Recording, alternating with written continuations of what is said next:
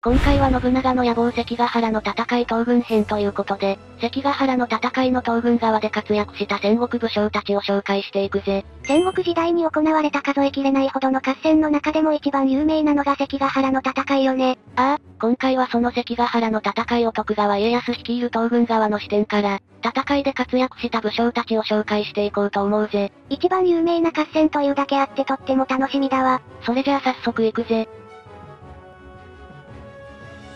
まずは関ヶ原の戦いについてのおさらいだ。助かるはそもそも関ヶ原に戦いはどうして起こってしまったの？それはだな、戦国時代の後期、豊臣秀吉が天下人となった後の慶長3年1598年に、秀吉がこの世を去ったことにより関ヶ原への経過が始まることになるんだぜ。秀吉の死後にまず行動を起こし始めたのは、豊臣五大老の筆頭徳川家康だ。家康はそれまで禁止されていた大名や家臣の婚姻の斡旋、領地の授与など、豊臣御奉行に相談することなく、勝手に行うようになったんだぜ。なるほど、狸じじいめ。もちろんこれには御奉行も起こり、その中でも筆頭の石田三成は家康をめっちゃ非難したんだが、ぶっちゃけ三成も結構嫌われ者だったんだ。三成は秀吉の一番の側近で、秀吉に色々な報告や命令を伝達する役目だったのよね。ああ、三成によって望まぬ報告をされて処罰を受けた人たちが多くいたんだ。おまけに三成は政治家であり官僚だったため、合戦ではほとんど自分が傷つくこともなく戦場で戦っている武将たちからも嫌われていたんだ。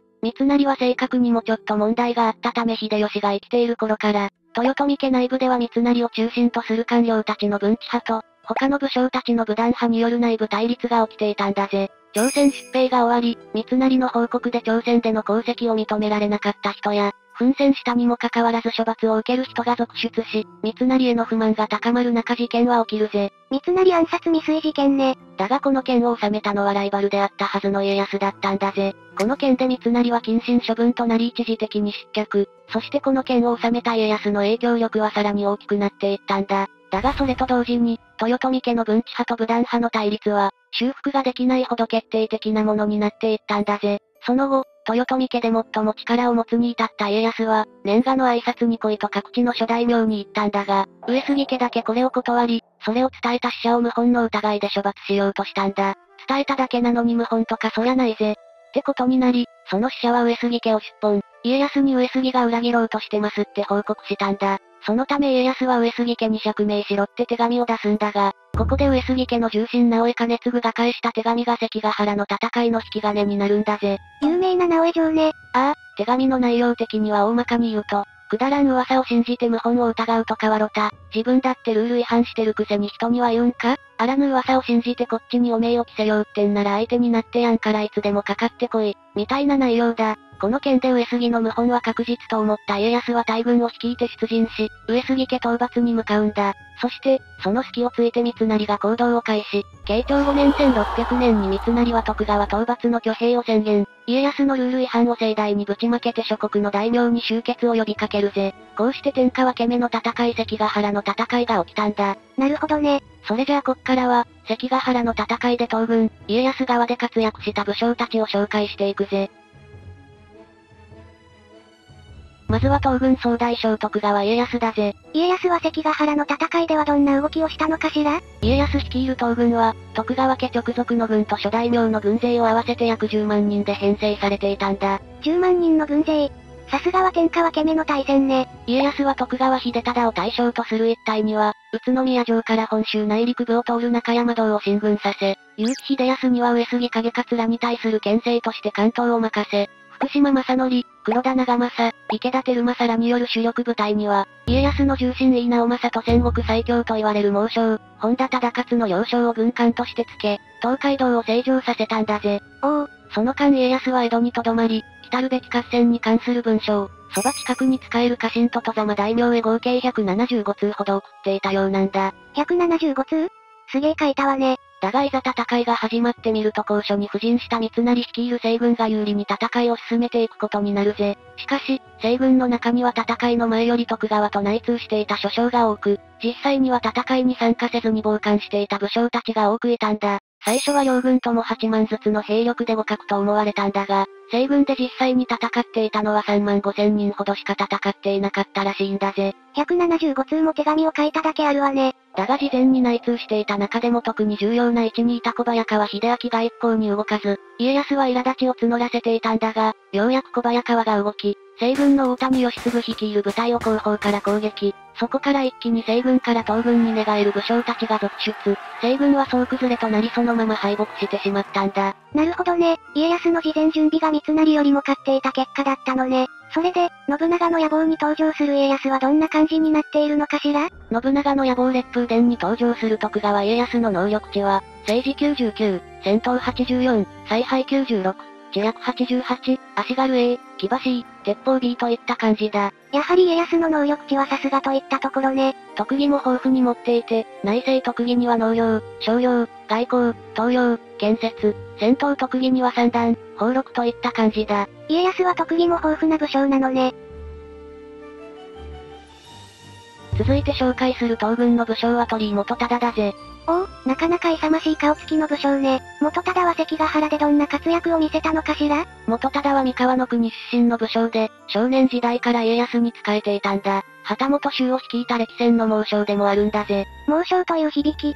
かっこいいわ。また、三河武士と言われる集団の象徴的な武将としても知られているぜ。三河武士？三河武士とは家康に仕えた三河出身の勇猛果敢な武士集団で、家康への忠誠心も高いことで知られている集団だ。そんな集団の象徴的な武士と言われるなんて、元忠はすごい武将だったのね。なぜ元忠が三河武士の象徴と言われているかというと、それは元忠が命を散らした伏見城の戦いがあったからなんだ。命を家康が上杉討伐へ出陣すると三成は、上杉と協力して、家康を東西から挟み撃ちにしようとしていたらしいんだ。その手始めとして三成はまず元忠が守る京都の伏見城を攻めるんだ。三成の軍勢はおよそ4万、対する元忠の軍勢は多く見積もっても約1800。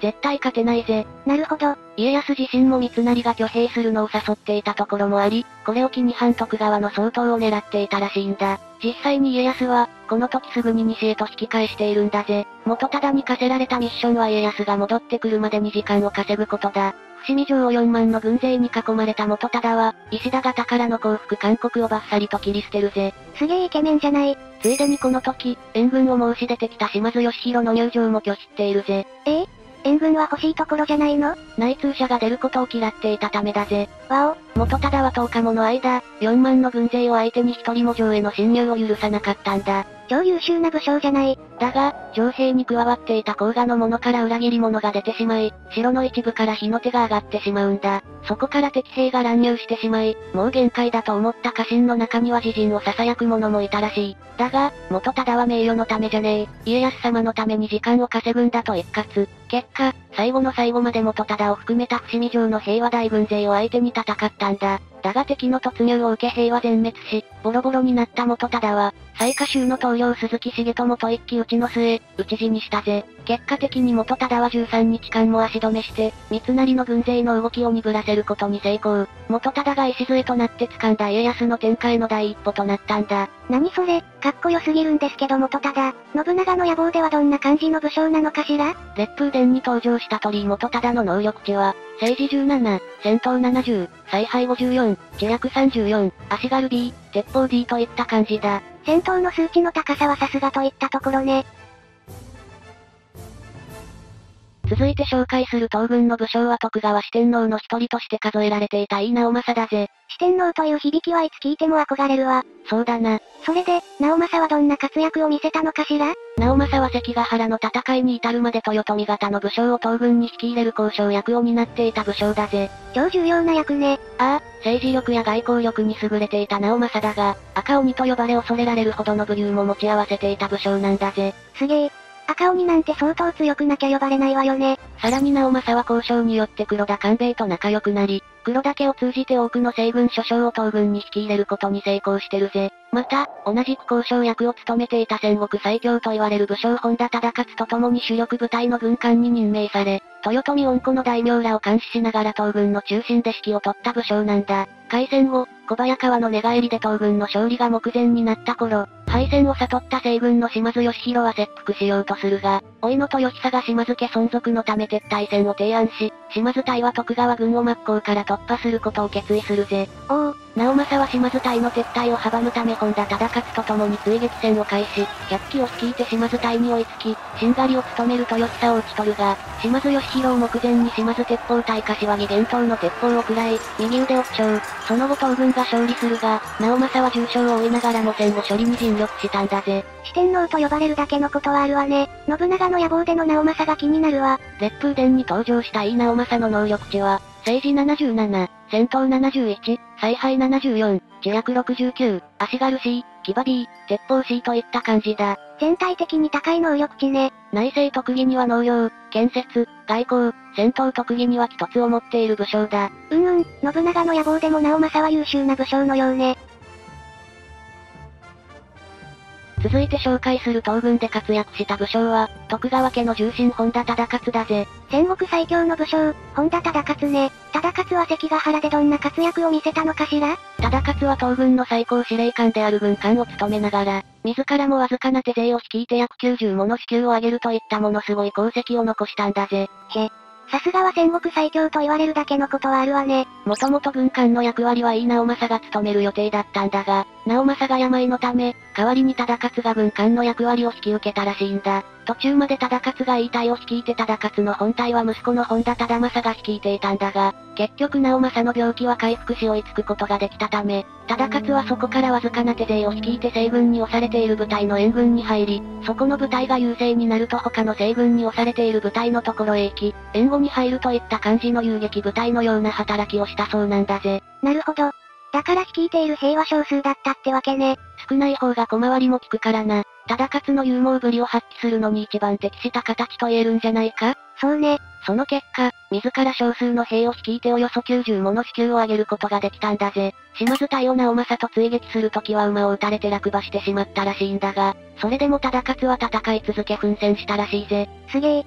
戦国最強は馬から落ちてもやはり最強のようね。その姿を見て家臣の梶正道は自分の馬を差し出したという話もあるんだぜ。その武将も冷静な判断をしたわね。そうだな。忠勝に仕えていたということもあるが、自分よりも戦国最強の武将に馬を渡した方が戦果も上がるだろうしな。それで、忠勝は信長の野望ではどんな感じの武将になっているのかしら？烈風伝に登場した本田忠勝の能力値は、政治62、戦闘89、采配86、自略68、足軽 C、騎馬 A、鉄砲 C といった感じだ。おお、やはり全体的に高い数値を誇っているわね。騎馬 A もいい感じね。内政特技には東洋、建設、戦闘特技には一つも持っているぜ。忠勝の一つは恐ろしそうね。私までビビっちまいそうだぜ。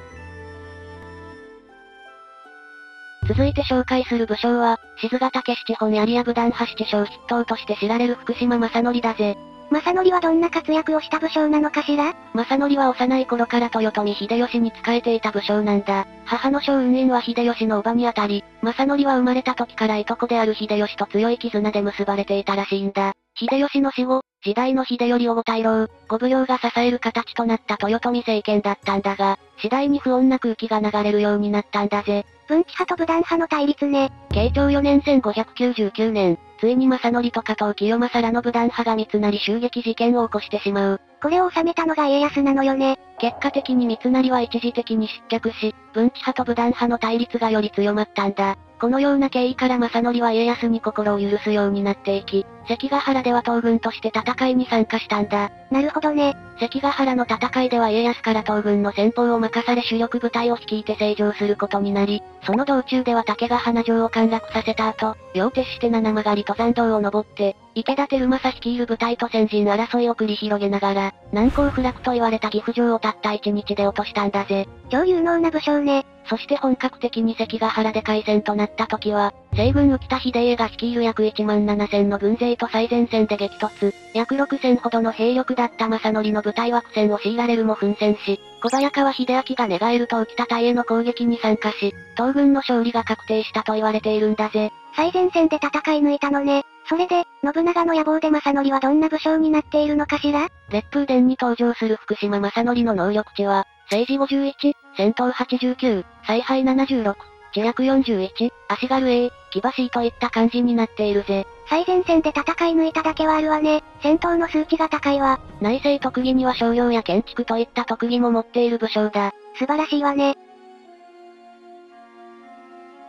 続いて紹介する武将は黒田長政だぜ。この人はもしかして？秀吉の超有能な軍師として知られる黒田官兵衛の息子だぜ。おお、偉大な父親を持ってしまったが、長政はそのプレッシャーに押しつぶされることなく、立派で有能な武将として成長したんだ。さらに長政は父親思いの熱い心を持った武将としても知られているんだぜ。そうなの？静ヶ岳の戦いが勃発した頃、黒田軍も静ヶ岳へ向かい出陣。だが黒田軍は敵である佐久間森政に攻められ窮地に陥ってしまう。討ち死に覚悟で戦場に留まることを決意する父官兵衛だったが、息子だけは逃がそうと家臣に長政を連れて逃げるように命令したんだ。事情を聞かされないまま命令を受けた家臣と共に一里ほど進んだあたりで、え？俺らどこに向かっとるん？と長政が聞くと、その家臣が実は都官兵衛の命令の真意を話したらしいんだ。すると長政は、親父を置いて逃げる息子がどこにいるんだ。いくら父の命令とはいえこれだけは危険と言って、すぐさま戦場へ引き返したという話があるほどだ。素晴らしいわ。その家臣も涙を浮かべながら長政の後をついていったらしいぜ。感動するわね。そうだな。そして関ヶ原の戦いではもともと長政は三成のことをよく思っていなかったため、いち早く父官兵衛と共に家康に接近。徳川家と婚姻関係を結ぶぜ。さらに長政は三成襲撃事件にも参加。そして開戦前は小早川秀明や吉川広家ら西軍の武将たちとコンタクトを取り、東軍に着くように東羅で働きかけていたんだ。超重要な役だったのね。さらに黒田軍は関ヶ原の戦いが開戦すると三成の本陣めがけて突撃し、島左近率いる軍勢と激戦を繰り広げ見事に討ち取ってみせたんだぜ。すげえ、信長の野望の長政も気になってきたわね。烈風伝に登場する黒田長政の能力値は、政治77、戦闘68、采配72、自略78、足軽 B、鉄砲 B といった感じだ。おお、全体的に能力値が高くて隙がない感じね。そうだな、内政特技には農業、商業、外交、戦闘特技には三段も持っているぜ。長政はゲームでも有能な武将なのね。続いて紹介する東軍の武将は細川忠興だぜ。忠興はどんな活躍を見せたのかしら？実は忠興にとって関ヶ原の戦いは敵討ちの戦いでもあったんだ。そうなの？忠興は関ヶ原の戦いで早々に家康側につくことを表明したんだ。すると関ヶ原の戦いが起こる直前に、三成が忠興の留守を狙って妻の玉を人質に取ろうとしたんだ。己三成だが、人質になることを拒んだ玉は屋敷に火を放ち自害してしまうんだぜ。旦那の足かせになるわけにはいかないってことね。尊敬できる人だわ。忠興は玉の敵討ちという大義を果たすため関ヶ原の戦場へ向かうぜ。関ヶ原の戦い当日は黒田長政と共に東軍右翼隊として参陣。同じく東軍の小田中義政率いる部隊と交戦し消耗している三成の本隊に追い打ちをかけ、激闘の末136もの死球を挙げる武功を挙げたんだぜ。妻を失った怒りが数字に出ているわね。信長の野望で忠興はどういった武将になっているのかしら？烈風伝に登場する細川忠興の能力値は、政治80、戦闘68、采配74、自略72、足軽 B、騎馬 C、鉄砲 B といった感じだ。忠興も全体的な能力値が高く隙がない感じね。内政特技には農業、商業、東洋、戦闘特技には三段といった感じになっているぜ。うんうん、忠興も信長の野望で優秀な武将なのね。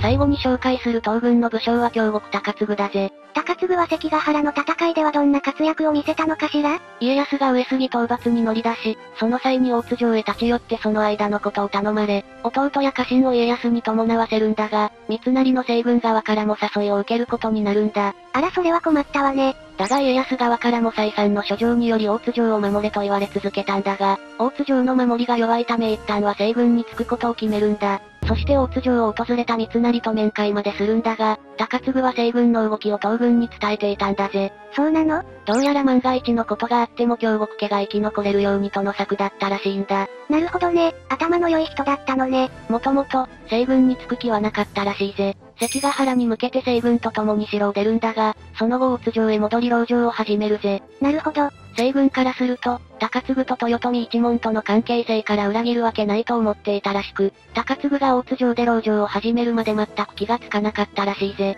高継は家康の重臣井直政に籠城して西軍の動きを抑えると報告し籠城したんだが、敵は兵力約4万の毛利元康軍に加え、大砲まで撃ち込まれてしまうぜ。へ、ちょっとやばいんじゃないの？高継自身も必死に応戦するんだが、三の丸に続き二の丸も落とされてしまい、敵から降伏しろと言われるが、高継は徹底抗戦の姿勢を見せたんだ。戦国武将ってすごいわよね。だが、敵側の立花宗茂が高継の一命を助けようと保証の書状を家臣に送らせ、その書状の内容を読んだ高継はついに降伏してしまうんだ。だが、会場と同時に関ヶ原の戦いが幕を開け、西軍が敗北。結果、高継は西軍の足止めに成功したというわけだ。そんなことってあるのね。それで、信長の野望に登場する高継はどんな武将なのかしら？烈風伝に登場する京極高継の能力値は、政治58、戦闘31、采配52、自略55といった感じだ。なるほど、今まで登場した武将と比べると割と普通って感じかしら？そうだな、内政特技には建築、外交といった特技を持った武将となっているぜ。今回の解説はこれくらいだぜ。このチャンネルでは信長の野望に関する動画をアップしているわ。また見たい、こんな題材の話も聞きたいなどあったら、コメント欄で教えてくれると嬉しいぜ。チャンネル登録も嬉しいけれど、もう一本動画を見てくれるとさらに励みになるわ。ということで今回も、最後までご視聴いただき、ありがとうございました。